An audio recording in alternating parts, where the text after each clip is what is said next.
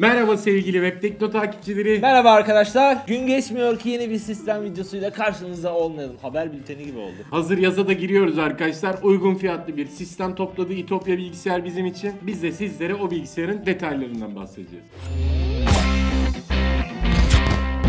Bilgisayarın satın alma bağlantısını açıklama kısmına bıraktık. Burada ise güzel bir haberimiz var. Onu da Lütfi söylesin. Bilgisayarı satın alanlar arasından 20 kişiye çekilişli arkadaşlar MSI'nin oyuncu ürünleri verilecek. Bunlar klavye, mouse ve kulaklık, Kulaklık. diyelim. Şimdi sistemimizin fiyatı bugünkü kurla bu videonun çekildiği tarih itibariyle 3299 TL arkadaşlar. Güzel fiyat. Karneler geliyor. Aynen böyle bir sistem bence güzel bir hediye olabilir. Bu sistemde de oyunlarımızı oynayacağız. Birazdan FPS değerlerini göreceğiz arkadaşlar. İlk oyunumuz Apex Legends arkadaşlar. Ekranın sağ üstünde FPS değerini görüyorsunuz. 90'larda seyrediyor. Hop hop çaktırma çaktırma.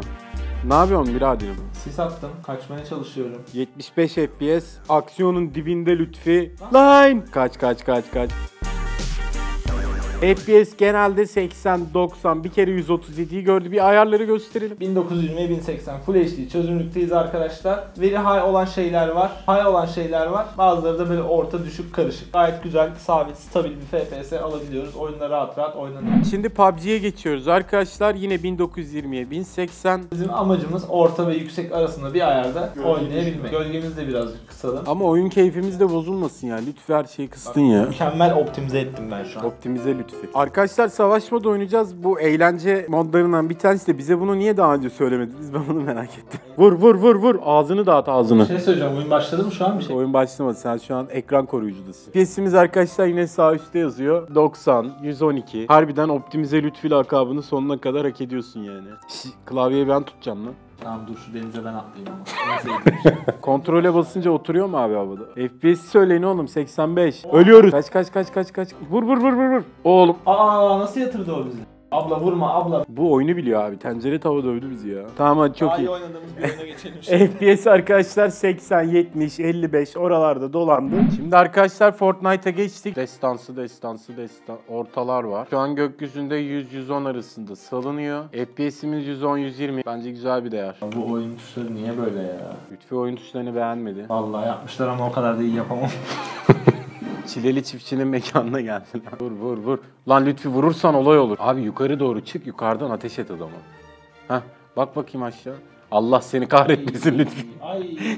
Siz ne yaptınız buraya ya? Bunun ne var? Hani Minecraft değildi lan bu oyun? Şuraya bir değil mi o? Ya dibimde adam var. Arkadaşlar FPS'imiz 90'ın altına bir kere düştü. Onun haricinde 110, 120, 100 bu dolaylarda dolandık. Oyun testi faslımız bitti. Şimdi isterseniz gelin bir de sistemin teknik özelliklerine bakalım. Sistemin içerisinde kullanılan işlemci Ryzen 3 2300X arkadaşlar. İşlemcinin içerisinde 4 çekirdek, 4 tane iş parçacığı bulunuyor. İşlemcinin varsayılan frekans değeri 3.5 GHz arkadaşlar. Yalnız boost'la birlikte bunu 4'e kadar çıkarabiliyorsunuz. Yalnız bu boost işlemleri biraz riskli diyorlar. O yüzden dikkatli olun sistemin kendisine kalıcı bir hasar vermemeye dikkat edin. Bilmiyorsanız da uğraşmayın. Anakartımız MSI'nin A320M Pro modeli arkadaşlar. Burada da tabi uygun fiyatlı bir sistem olduğu için fiyat performans oranını tutturabilmek adına uygun fiyatlı ama performanslı bir anakart tercih etmiş İtopya. İki tane RAM yuvası var arkadaşlar anakartın üzerinde 3200 MHz'e kadar destek veriyor. Ayrıca dilerseniz 32 GB'e kadar RAM takabiliyorsunuz arkadaşlar. Yani maksimum sınır 32 ki 32 bile zaten fazla fazla yeterli. Yeterli. Hadi sıra sende. Ekran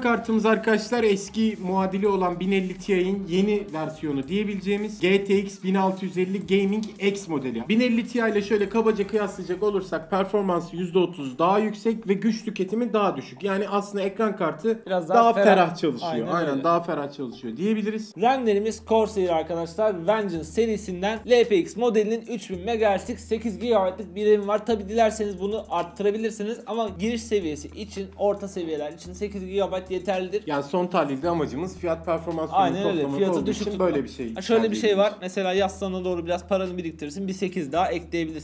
Yükseltmeye gayet müsait. Zaten RAM tek slotta arkadaşlar. Anakartımızda bir boş slot daha var. Oraya ekinizi yapabilirsiniz. Rahat rahat diyorum ve sende. Kasaya geldik arkadaşlar. Kasamız öncelikle gördüğünüz gibi ışıklı mışıklı. Onun haricinde çok fazla ışık olayı yok bilgisayarımızda. Power Boost'un G3902S modeli kullanılmış kasada. Ön kısmında 3 adet RGB fan, arkada ise yine Yine bir adet RGB fan bizi karşılıyor. Kasanın boyutu güzel bence gayet. Ya bence normal bilgisayar böyle olmalı abi ya. Aynen öyle çok öyle. uçuk apır sapır şeylere bence gerek yok. Koy Bu her yere sığar. Kasada bir SSD var. Hard disk tercih edilmemiş kasada. Bu da tabii ki de performansa etki eden en önemli unsurlardan bir tanesi. 240 GB'lık Toshiba OCZ SSD kullanıldı bilgisayarda. 550 MB okuması, 540 MB da yazma hızı mevcut. O civarlarda yani 3 aşağı 5 yukarı buna tekabül ediyor. SSD olması dediğin gibi oyunların açılma hızlarında, yüklemelerde falan filan çok işinize yarayacak. Tabii size yetmezse ilerleyen günlerde yine bir içine hard disk takabilirsiniz ya da farklı bir yüksek kapasiteli SSD alabilirsiniz. Ama zaten en başından beri dediğimiz gibi amacımız fiyatı düşük tutup performanslı bir bilgisayar elde edebilmek. Ben de PSU'yu anlatayım sizlere. Power Boost'un 500 wattlık bir PSU'su kullanılmış kasanın içerisinde. Sistem içindeki parçaların yapısı gereği oldukça az güç tüketiyor arkadaşlar. Bu nedenle 500 watt sizlere hayli hayli yetecektir. Yani sıkıntı çıkaracağını düşünmüyoruz. E bitti mi parçalar?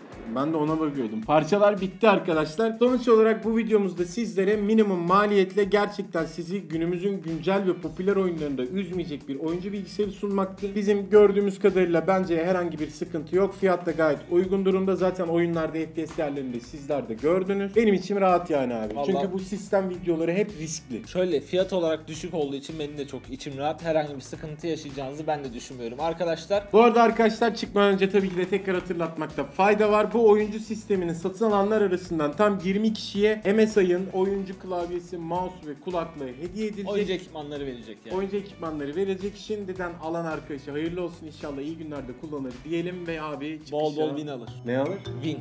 Win. Ha. Öyle deniyor ya. ha bol bol win alır. Win alır. Çok iyi abi. O zaman çıkışa geçelim. Bu videomuzda sizlerle birlikte İtopya'nın Webtekno özel hazırlamış olduğu oyuncu sistemini inceledik arkadaşlar. Her zaman olduğu gibi kafanıza takılan herhangi bir soru varsa hemen aşağı yorum olarak bırakabilirsiniz. Ayrıca, Ayrıca bilgisayarın satın alma bağlantısını açıklama kısmına bıraktık. Oradan satın alıp çekilişe de katılabilirsiniz diyelim. başka bir Webtekno videosunda görüşmek üzere. Hoşçakalın. Hoşçakalın. Ekranda durmakta olan bağlantılara tıklayarak bambaşka web tekno videoları izleyebilirsiniz. Ayrıca hemen ortadaki bağlantıdan da kanalımıza Abone olabilirsiniz. abone arkadaşlar. Olabilirsiniz. Evet abone olabilirsiniz.